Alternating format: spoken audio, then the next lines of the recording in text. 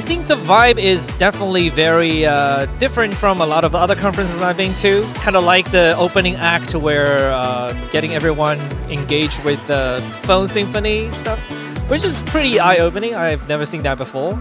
I think in general, attending conference is good that you can interact with the not just the speaker, but also to learn from the other people in the web community or in the JavaScript community to see how people do stuff. The vibe here at JS Nation is actually incredible. Like the it's full, the place is full, it's buzzing. Uh, it's, it's been so great to see uh, so many people enjoying the speakers, enjoying the talks, getting loads of questions in, but also just the, the fun going on outside as well. Uh, it's, yeah, it's absolutely buzzing. Uh, great day.